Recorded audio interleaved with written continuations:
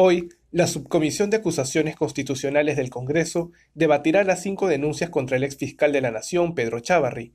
Ante esto, diversos personajes, como el secretario general de Transparencia, Gerardo Tábara, pidieron al Parlamento no dilatar o proteger al ex titular del Ministerio Público, porque las manifestaciones ciudadanas irán hacia el legislativo.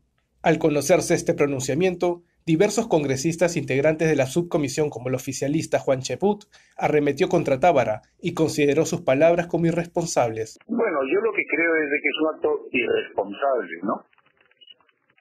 Que no va de la mano de lo que debe ser un organismo de la sociedad civil que busca mejorar la calidad de la democracia.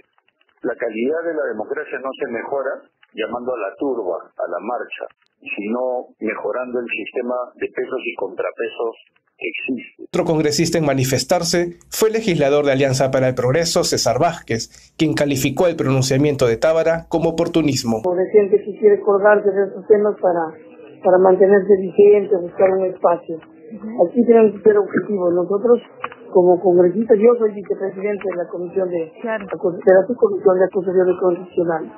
Yo y ya me, he manifestado saludando el cambio de actitud de Segura y del En tanto, el aludido Gerardo Tábara señaló a Correo que no existe ninguna amenaza y pidió a los congresistas que reaccionen ante su pedido. En realidad, no hay ninguna amenaza en este tweet. Eh, yo creo que hace mal eh, cualquier persona, sea congresista o no, que interprete que las movilizaciones ciudadanas constituyen una amenaza para la democracia o para las instituciones democráticas. Cabe señalar que si hoy las denuncias contra Chávarri son aprobadas en la subcomisión, estas serán elevadas a la comisión permanente, para que pongan un plazo para realizar las investigaciones contra el polémico exfiscal de la Nación.